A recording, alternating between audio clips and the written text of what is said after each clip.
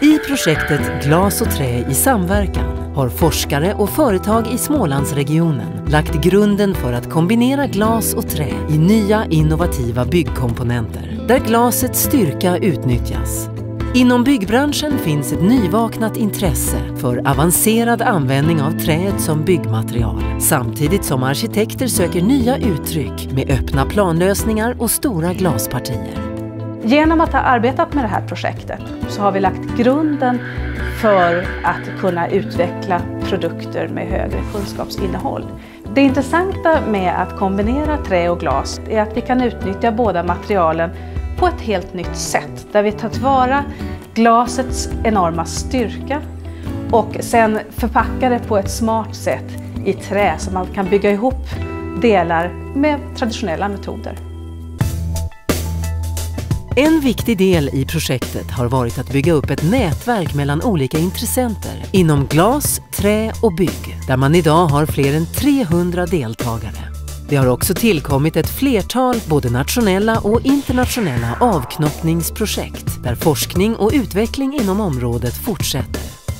Tillsammans med bland annat eh, kollegor i Österrike och Tyskland och Slovenien så eh, genomförs ett treårsprojekt med europeisk finansiering för fördjupade studier om, om möjligheterna att, att använda glas och trä, eller trä och glas i bärande konstruktioner.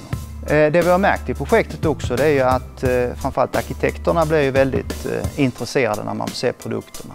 Och det väcker ju många frågor som har att göra med vår uppfattning om hur, hur ett rum ska se ut, hur, hur en lastbärande del av en byggnad ska se ut. Man kan få in ljuset överallt i byggnaderna från olika håll. Man kan ha det uppifrån och man kan ha det nerifrån. Man behöver inte tänka på glaset som ett fönster längre utan det är någonting annat. Det är mer än ett fönster. Och det gör också att vi kan bygga vidare med det här, att vi kan föra in ännu fler funktioner. Vi har det här med elektrokroma fönster, att man har beläggningar på glaset så man kan reglera ljusinsläppet. Och vi kanske kan ha det som informationsvägg, att vi bygger in sådana funktioner även i, i väggen, i fönstret.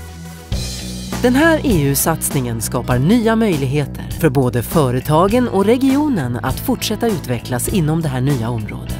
På sikt kan det bidra till nyetableringar och varor med högre kunskapsinnehåll. Betydelsen för regionen tycker jag man kan se väldigt tydligt. Att kombinera två material där vi regionalt är riktigt starka eh, ökar ju regionens konkurrenskraft. Och det är en väldigt, väldigt viktig aspekt. Ha ett högre förädlingsvärde i sina produkter och därmed få en bättre lönsamhet än om man bara säljer rent trä och planka eller rena eh, glasbitar. Dels har vi fått stöd från eh, Tillväxtverket och sen så är det ju de här huvudorganisationerna som har varit med som forskningsaktörer, det vill säga GLAFO, Glasforskningsinstitutet, Linnéuniversitetet och Lunds tekniska högskola som har varit inblandade. Det finns många innovativa miljöer i Sverige där idéer kan växa och utvecklas. Stöd från Europeiska regionala utvecklingsfonden förstärker den typen av satsningar.